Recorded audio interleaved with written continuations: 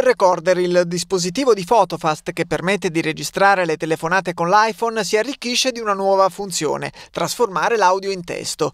Un ottimo aiuto soprattutto per i professionisti che potranno così evitare di passare ore a sbobinare conference call o interviste telefoniche. Grazie al dispositivo, le telefonate, oltre a essere registrate e archiviate per poter essere riascoltate, possono essere anche convertite in testi scritti, pronti per essere letti, analizzati, studiati o conservati.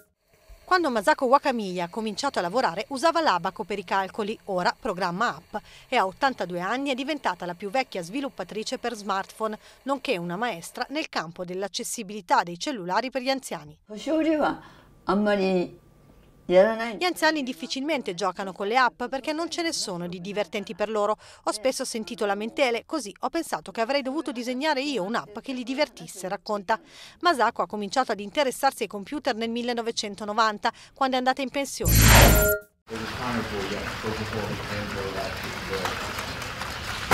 Lo scontro è a colpi di microchip. In campo, sul rettangolo verde, scenderanno, si fa per dire, squadre di tutto il mondo per conquistare la medaglia d'oro al più grande campionato di robotica e vincere così la RoboCup.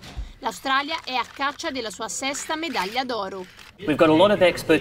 Abbiamo moltissima esperienza in quello che chiamiamo la robotica autonoma. Ciò significa far sì che i robot pensino ed agiscano in modo autonomo. Questo è ciò che ci ha permesso di fare veramente bene negli ultimi anni, spiega Timothy Wiley, supervisor del team australiano di RoboCup della Università di New South Wales.